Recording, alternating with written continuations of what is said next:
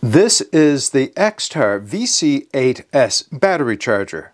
But it's not just a battery charger, it's also a battery tester and a battery conditioner. If you're interested, keep watching. All right, before we get started, I want to thank Xtar for reaching out to me and offering to send the VC8S so that I could share it with you. Now, just a couple of things. I am going to go down to the tabletop and give you a high-level overview of this device, basically showing you how it works, but there is a lot of detail in all the different operational features of it, and I don't feel I can get them all or give them all justice during this video.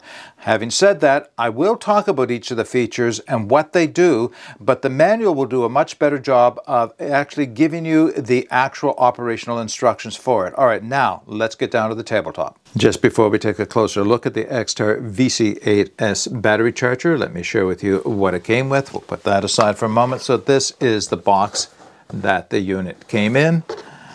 And it did come with a manual and warranty information. Now, this manual is all important because this is well laid out, a lot of it done pictorially, and it's important that it is easy and clear to understand because there are so many features and things you can do with this unit that you'll want to reference this manual often just to learn the procedures for it. As I mentioned, there is more you can do with this unit than I could adequately cover in this video, although again, I will be going over each of those features in terms of what they are and the benefit to you for them. And the last thing that came with this is this PD fast charger. So this is a 45, oh, 45 watt output charger and it came with a USB Type-C fast charge cable, the one that would have USB Type-C uh, ports on both end of it. All right, let me bring the unit back in. I'll first have to set this up and then we'll start demonstrating it. Now in a moment I'm going to start putting batteries in each of the slots so you can see the type of batteries that it will work with and there's one exception that it won't work with but I'll get to that in a moment. But first let's just talk about its key features because this is will highlight the versatility that this unit has to offer. So to start with it has eight, eight independent charging ports right across the front of it. By independent, I mean you can put in any number of different size batteries, eight different batteries if you have them, and it will charge all of them equally but independently one of the other because of course some will require more current than others to charge. You can charge both lithium ion as well as the older nickel metal hydride batteries at the same time. It also offers a store mode, and a store mode, or storage mode is it'll condition the battery to just the right capacity for long-term storage so it doesn't cause damage to the battery itself. It has an internal resistance testing and it has a capacity testing and I think that's really quite interesting because I've, I've learned through testing with this that not all batteries are actually capable of the capacity rated for them. I'll speak more to that in a moment. It has adjustable charge current. So when you put a battery in this, the unit will determine what is the best charge current to bring this uh, to charge the battery with. However, if you want to charge it faster or slower, you can adjust that through the uh, the device itself. Anywhere from 3,000 milliamps all the way down to 250 milliamps, and I think that's quite interesting. Although for the most part, I just pop the batteries in and leave them in and let the unit decide what is the best current for doing that. It does have a 15-day wa exchange warranty, a 24-month uh, free repair warranty and a lifetime technical support warranty. Now, as far as performance, this supports both the PD 3.0 and the QC 3.0 uh, performance specifications. All right, now let's just start putting a few batteries in it and I'll show you a few of what it's capable of placing in it. So right off the top, probably the battery uh, that most of my flashlights and a lot of my units use are the 18650. Now this is an unbranded, well this one says Ultrafire, but basically it's an unbranded version of an 18650, not a well-known brand. I'll pop that in in that port. Right next to it, I'll pop in a 2000, 2800 milliamp hour nickel metal hydride double A battery. Put that, pop that one in next to that. Next to that, I'm going to pop in a CR123 battery, also an unbranded or a non-standard brand uh, battery at 2800 milliamp hours. So that's a different battery again, all starting to charge. Now I have a triple A, oh damn, slippery with the fingers today. This is a AAA nickel metal hydride battery rated at 1600 milliamps. I can pop that in as well. Next to that, this is a 14500 2300 milliamp hour battery. Again, one of those basic uh, no-name batteries. We'll pop that in. And finally, I'm going to pop in a, uh, a 21700 battery. This is a 5000 milliamp battery made by Klarus, and I'll pop that in over here.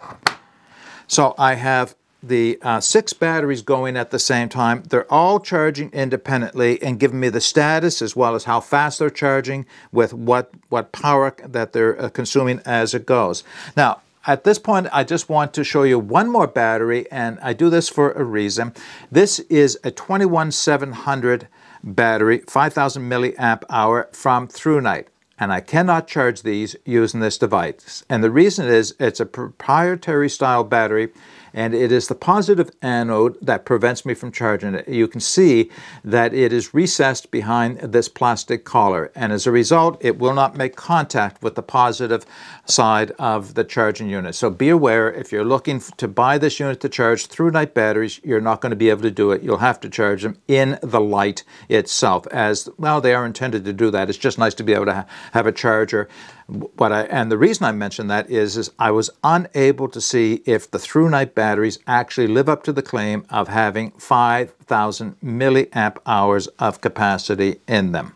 All right, just before moving on and sharing my experiences using this device, I wanted to give you a few close-ups so that you can see the status of each of the batteries in their individual ports, showing you the inputs going in as well as where they are in uh, amount of time left for before they reach full power. And basically that's all I'm going to be able to show you about the operation because as I mentioned, there is a capacity testing, and I'll speak to that in one moment, and an internal resistance testing and a storage mode that you can do with this unit. But it's just, there's a number of steps involved just pressing the buttons and it's better done by reading the manual. Know that it is capable of doing that. Now I just want to share a few comments around my experiences using this device. Basically what I wanted to share with you at this point was the capacity testing capability of this device because I found this very interesting. This is something that's come up from time to time in comments when I'm doing flashlight reviews is that is the battery in the flashlight actually capable of whatever the capacity that is written on the side? So if it's a 21700 size battery and it says 5000 milliamp hours in it, will it actually hold 5,000 milliamp hours.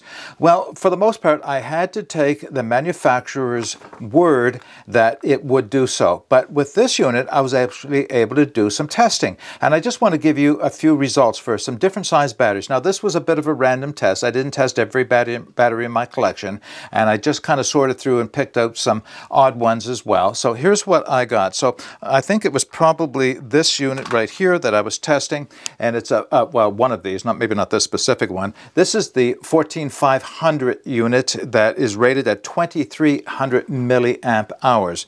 It only came in at 124 milliamps. So it in no way comes anywhere near the claims written on the side of it. So I thought that was quite illuminating, if you will, to show me that, that sometimes you're not, well, often you're not getting what you think you are when you buy some of these batteries. Now, another battery was this 18650 that was in the unit itself. The 18650 was rated at 5,000 milliamp hours. It only came out to 776. So this is less than, uh, well, not more than less than half, it's practically a quarter or less of the capacity as it's rated for. So that was very disappointing to discover as well. I did check out one of these um, double A, well, not the double A, sorry, the triple A, one of these little guys. I checked out one of these little guys, the triple A, the um, uh, nickel metal hydride batteries rated at 1800 milliamp hours and it came in at 778. All right, so very disappointing again. Uh, I also checked out the Klarus and the Xtar uh, batteries, an 18650 and this Klarus uh, 5000 milliamp 21700, and they were, did much better. So the Xtar itself came in at uh, 4782, being rated at 4900 milliamps. That is so close that it's it's not worth mentioning the difference. So it was almost exactly what the company claimed it was on the side of the battery. And for the Klarus battery, it was rated at 5,000 milliamps and it came in at 4,793 milliamp hours. Again, very, very close to its rated capacity. Now, the, what I take away from this is that the better branded batteries have a better chance of being at what they say they are in terms of milliamp hours. Yes, both of those were a little bit below the full capacity, but uh, that's not unusual. And sometimes they degrade over time, and both of these batteries had been used uh, quite a bit. So I, I, was not in the least bit disappointed that they weren't at the full factory specifications.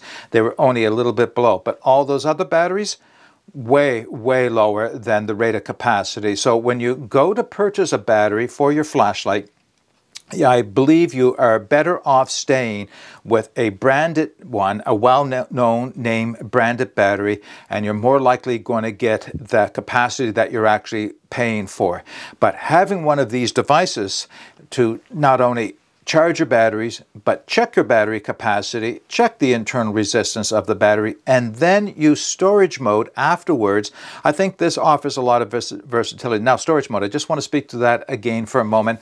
And basically what it is, is when you set it up in storage mode, it will the unit will completely deplete the battery and then fully charge the battery. It takes some time for this to happen. And then fully charge the battery, and then it will bring it down to a level where it is at its best storage mode. And what I mean by that, it's well known that, well, especially with the larger power stations, that for long-term storage, the battery should not exceed 80% of its full capacity, and that will extend the life of the battery. So if you're looking to extend the life of your small batteries for your devices, it's exactly the same thing. And this unit will determine what is the best capacity to have that battery at for long-term durability.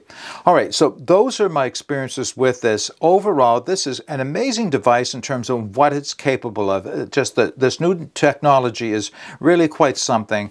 It's very reasonable. If you are looking for a battery charger, you may as well get one that can test test the capacity of the battery, and then charge it to the appropriate capacity for long-term storage at the same time. All right, so I did not go through a lot of the operational detail of this unit because it's so well covered in the manual, and it's complex in the sense that there are some button pushing to be done on this that I figured is best left to you when you read the manual. Just know that it has those features available to you if you're interested in. So I will put what information I do have in the video description as well as the links to where you can take another look at this unit. But if you have any comments or questions regarding this unit, please put those in the comment section below. But until next time, get out and explore and take that path less traveled because it will make all the difference. Bye for now.